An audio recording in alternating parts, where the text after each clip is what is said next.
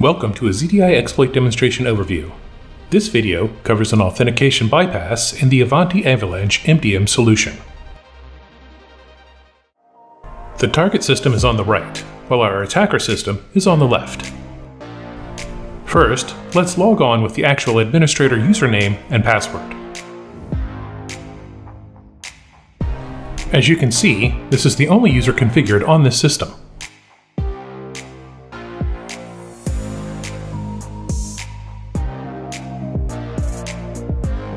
Next, we attempt to log on with a fake username and password. As expected, this fails. Now we start our exploit script. Once it completes, our fake username and password are accepted. We are now logged in as an administrator.